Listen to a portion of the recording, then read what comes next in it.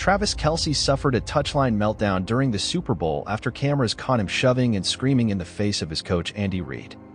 With his girlfriend Taylor Swift watching on from the $1 million family suite in Las Vegas, the tight end appeared furious that he did not receive the ball on a play. Heading back to the bench, Kelce got in the face of his 65-year-old coach, and it is not the first time it has happened.